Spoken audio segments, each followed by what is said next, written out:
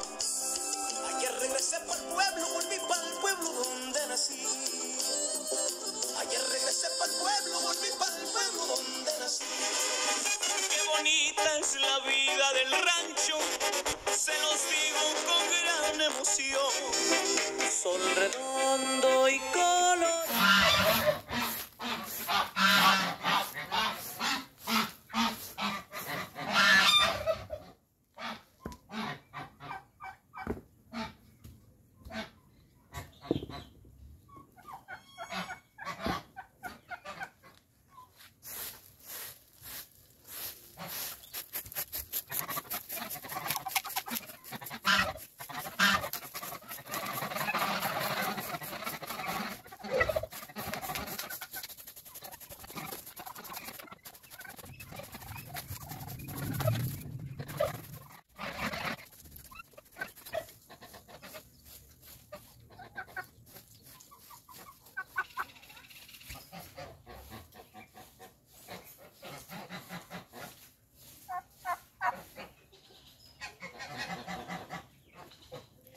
¿Qué tal, chicas y chicos? ¿Cómo están? ¿Cómo se encuentran? Aquí yo, barriendo el gallinero. Les doy la más cordial bienvenida, esperando pues que este video les guste. El día de hoy, pues bueno, ando haciendo limpieza, como ustedes ya pudieron notar. Y les voy a compartir dos consejos muy, muy buenos para ustedes que tienen aves de corral. Sentí que era un gusadito. ¿Qué pasa en estas épocas de lluvia? Esta temporada que pues se viene el aguacero y a los que tenemos pues piso de tierra, eh, pues eh, el lodo, la humedad, eh, la pesina, pues hace que se provoquen infecciones en nuestras aves, ¿cierto o falso? A ver, déjenme, déjenme en los comentarios esos aromas que se van dando por aquí. Y pues bueno, quiero compartirles el día de hoy, como les había comentado, dos consejos. Uno, para que sus aves se hagan más fuertes, más resistentes a este, a estos, pues, climas, a esta, a, a la humedad, a todo esto lo que conlleva la época de lluvias, que, que se hagan más fuertes, más resistentes, que si se viene alguna enfermedad, algún, alguna bacteria les cae en su cuerpo, que sean resistentes y que no se enfermen tan fácil. Y otra cómo combatir un poquito las bacterias, los hongos que producen la época de lluvias en la tierra, lo que es la humedad, que hagamos que se seque más rápido porque ustedes saben, eh, luego las, las, malas aromas y todo eso hace que se, que, se infecte de alguna manera el gallinero.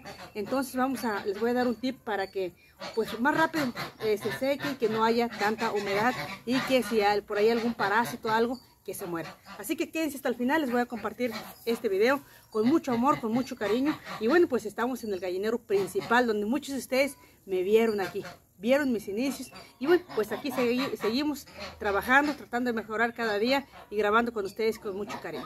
Pues vamos a continuar.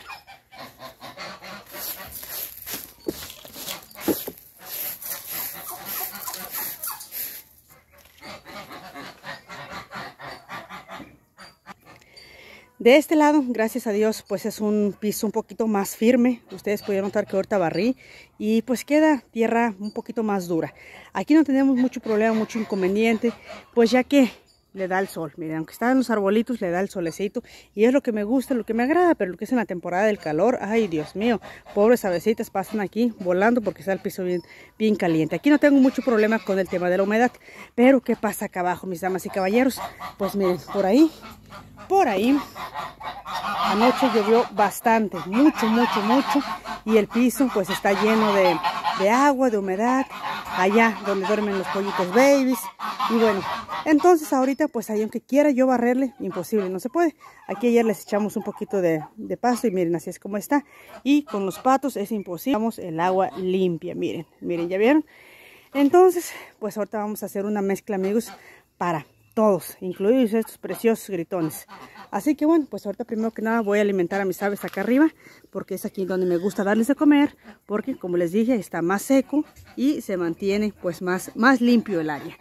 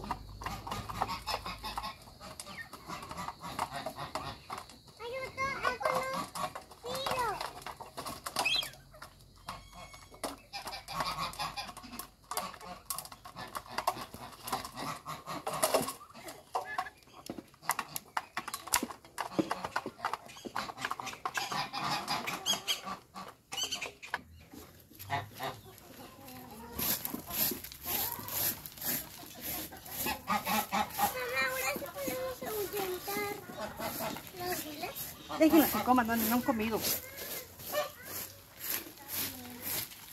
Tienen mucha hambre. Que coman un poquito más.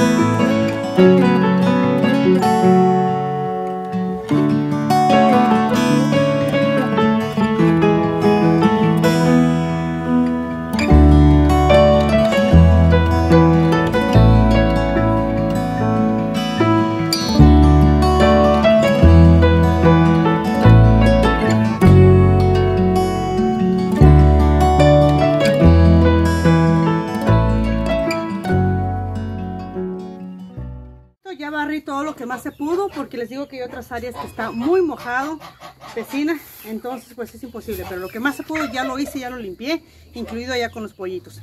Ahora, ¿qué es lo que voy a hacer? Voy a rociar toda esta área, todo lo más mojado, todo, todo lo que más se pueda, con algo muy importante. Por aquí lo tengo.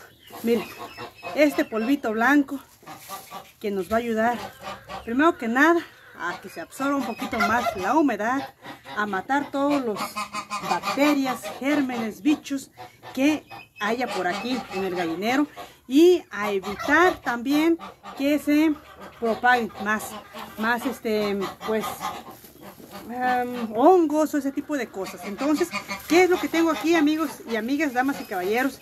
Esto es cal. Cal de esa que, utilizamos para poner el nixtamal, que por cierto es muy económica. Aquí pues tengo casi, casi será un kilo, un poquito menos de un kilo. Pero bueno, pues no, no tampoco le vamos a rociar un costal. O sea, con esto yo considero que es suficiente y pues no es tóxica para las aves, al contrario, para algún piojillo, algún corupo que anda, ande por ahí, les va a servir bastante. Pues miren, es polvito blanco completamente, pues textura como si fuera harina. Voy a poner a rociar todo y ahorita hacemos el otro eh, remedio que ese va a ser para que les mate todos los chuchitos que tenga por dentro y los haga más fuertes, más resistentes, inmunes a cualquier enfermedad. Pues vamos a comenzar.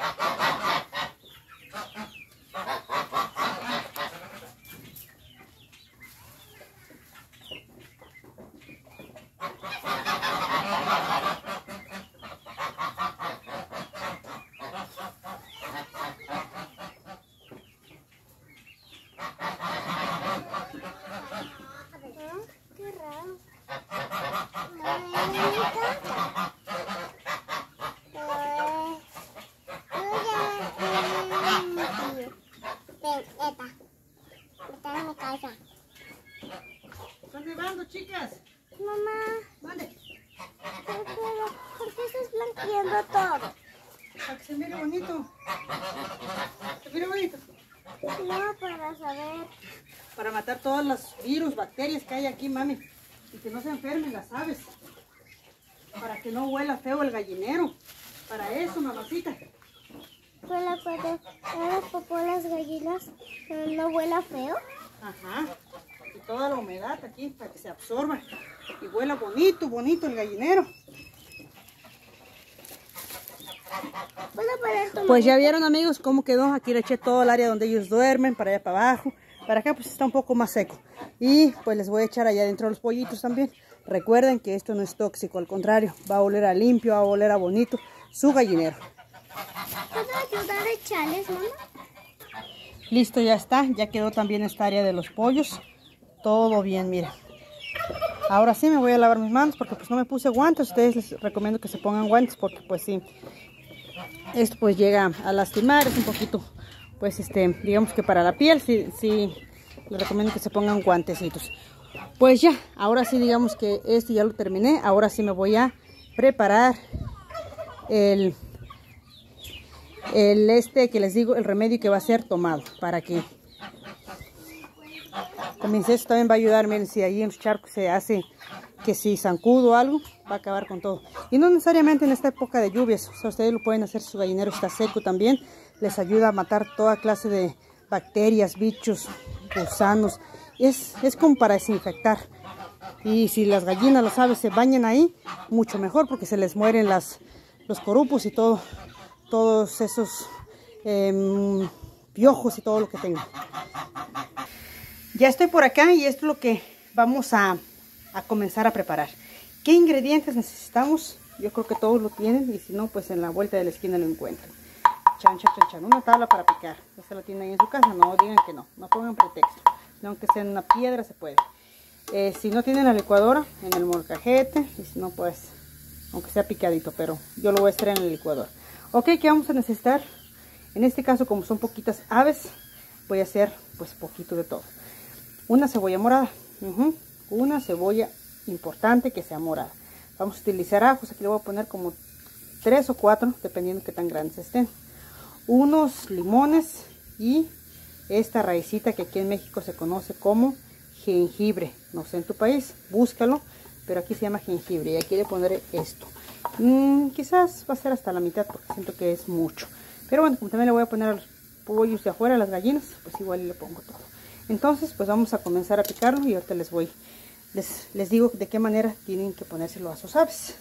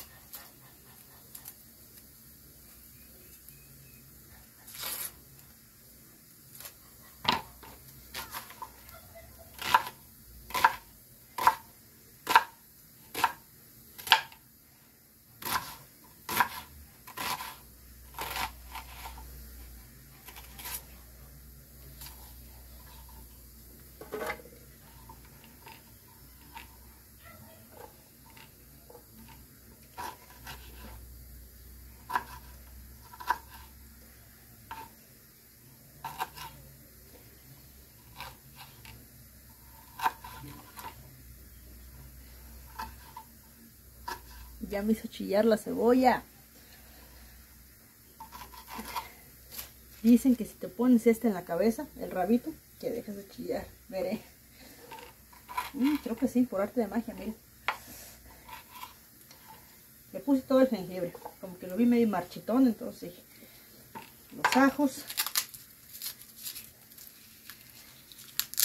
Están grandes. Le voy a echar tres. Tres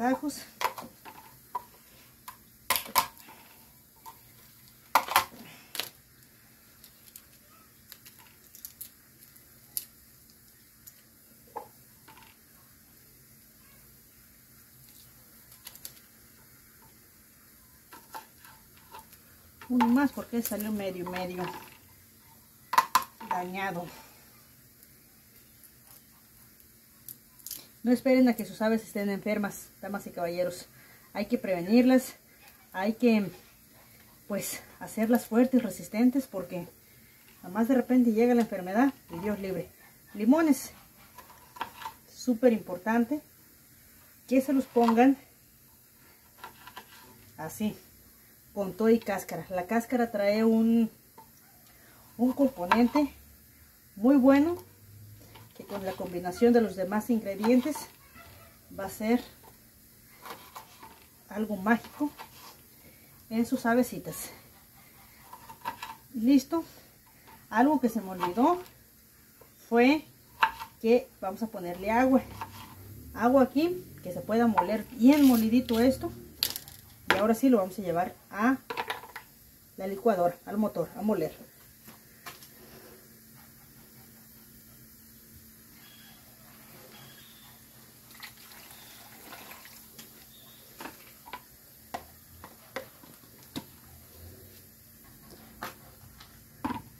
Listo, ya está bien molidito. Miren qué color tan chulo agarró. Moradito, bien, bien bonito pues ya aquí mi licuadora pues no es de muy alta gama no no tritura como yo quisiera pero bueno hice el mayor esfuerzo y yo no lo voy a colar ¿por qué razón? porque pues lo que quede eh, las gallinas se lo van a comer las aves y les pues se aprovecha todo además de que les sirve como fibra aquí no se va a desperdiciar nada ahora esto ¿dónde se lo vamos a poner? vénganse vamos al gallinero con el recipiente donde ustedes ponen el agua, el bebedero, bien limpio. Yo lo puse sobre unos tabiques. Vamos a poner el agua. Esta es agua, agua natural.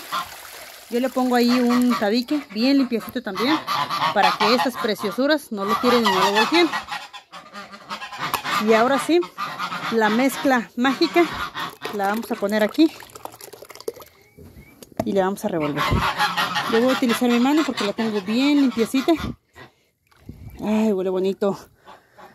Huele bonito.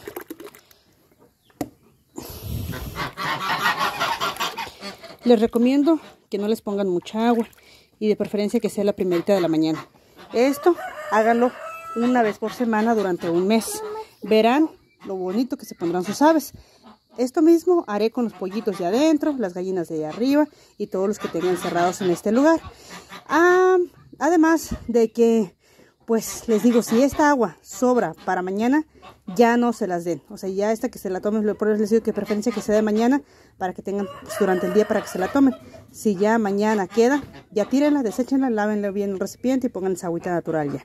Ok, pues voy a hacer el mismo procedimiento con los demás eh, bebederos y ahorita les platico algo más.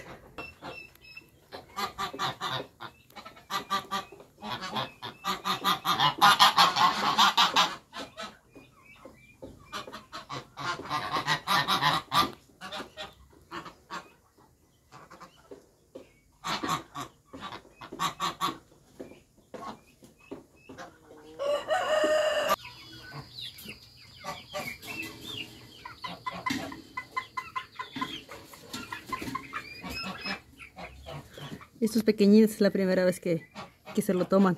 Y como ven el agua diferente,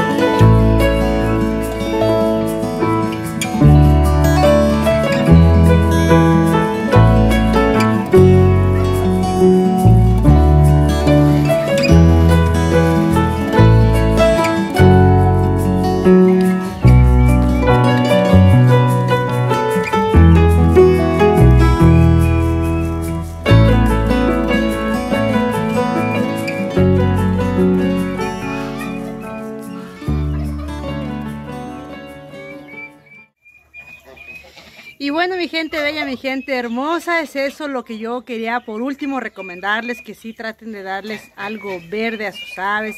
Por ejemplo, acá que es temporada de lluvias, pues hay mucho pastito verde, tierno, pues por ahí a la orilla de la carretera, que entre la milpa. Entonces sí trato de darles muy, muy seguido, aprovechar este tiempo. Y además pues siento feo de que mis avecitas pues están encerradas y miran todo su alrededor verde y pues se les antoja, ¿verdad?